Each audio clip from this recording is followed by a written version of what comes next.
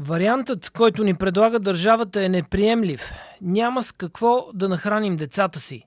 Така коментираха ситуацията с извънредното положение и държавните мерки за справянето и зети в туризма в курортния град Девин. Телевизия Алфа първо отиде на място и се срещна с представители на малкия и средния бизнес в родопските зимни курорти.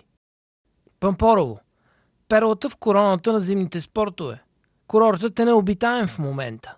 Съоръженията не работят, ски училището е затворено, хотелите са празни, а наплашените туристи си стоят по домовете. Тази зима беше много безснежна и понеже последните няколко зими са такива, ние трябваше да направим инвестиции да закупиме уръдие за сняг, за нали, да може да се подсигуриме и да знаем, че ще може да работиме. Направихме доста голяма инвестиция и за съжаление този сезон свърши почти на половината. На 13 марта трябваше, да, заради извънредното положение, трябваше да затвориме. А ето, както виждате, при няколко дни паднаха 60-70 см нос сняг. Условията в момента на Пампоро са просто перфектни за ски, но за съжаление всичко е затворено. В съседно Чепеларе зимият сезон също прекъсва преждевременно. Ски пистите на Мечи Чао стоят непокътнати. В най-хубавото време за ски, скиорите са забранени. Съответно и хотелите не работят. В тях няма туристи. Но за сметките за ток забраната не въжи.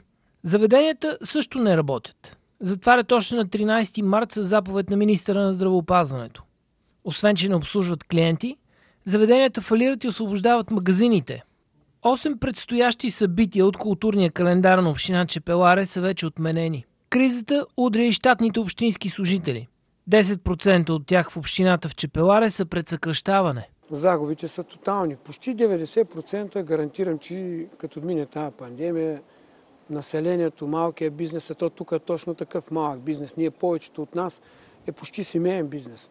Един хотел или едно заведение или ресторант го държи майката, бащата или ако е по-голям майка, баща, син и дъщеря.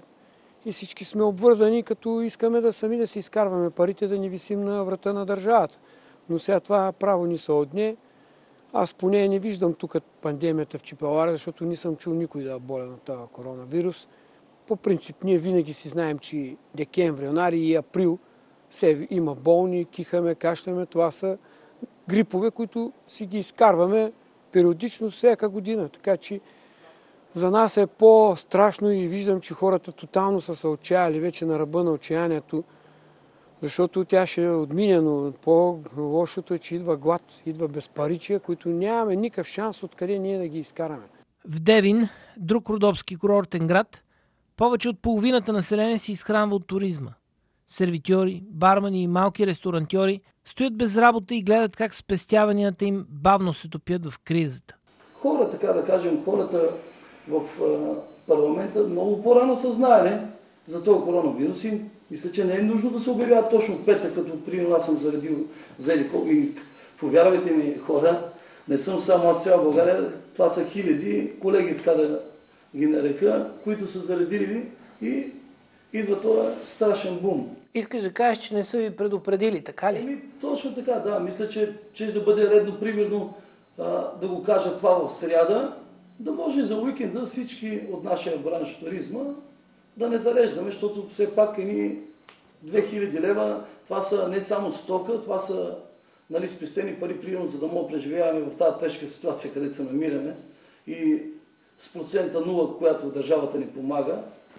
И дори иска от нас в ситуацията точно за нас, защото с ти обявени 60%, които искат да ни помагат, те всъщност искат да вземат, да не да вземат, а ни да дадем от нас 40% в, в, в състояние, което ние не работиме.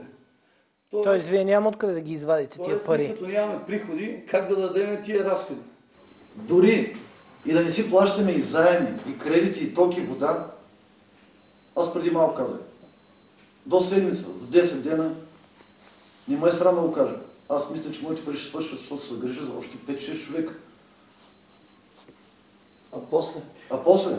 Като ни платят тока, водата, като ми свърна водата, тока, телефона, като няма комуникация, като няма какво да готвим на децата си, на бабите си, дядата си. Нали искат ти да ги запазим тях? Затова направихте тази карантина, запази възрастните хора, пенсионерите. Веднага 5 дена след карантината се обяви, че не трябва да се наливат пари в пенсионери, защото след като се пенсионират 3-4 години умират. Максимум. Значи да ги спасим от коронавируса, а да умрат от глад. Народа умира от глад. Господа управляващи. Напрежението в курортните селища на България расте доста по-бързо от броя на заразените с коронавирус. Предстоящият глад, на който са обречени, подтиква хората към крайни мерки. И за това на 13 април, понеделник, ние от община Девин. Подканваме всички българи, които имат възможност, И не са окей ако нямат възможност да се помолят на познати бизнесмени, приятели, които могат да организират едно пътуване до София. Отиваме на мирен протест, в който нашата главна цел е падане на това правителство, което ни убива живи. От град Девин лично ще бъдат осигурени три автобуса безплатни за гражданите и коли. Това ще е всичко безплатно. Всичко ще минава а, по заповедта, която е издадена за коронавирус. През седалка, по единна седалка. Ще има за хората, които ще дойдат ръкавици, маски, Сандвичи. спиртови, сандвичи, води, а, гелови, всичко, всичко, всичко, което е нужно за спазване на коронавирус, тъй наречения коронавирус, който мен много ме съмнява да има такова нещо. Всичко това, според мен, е измислено за стъпване и мачкане на нашия народ, ограбване на нашата хазна. Бедният да става по-беден, Точно така.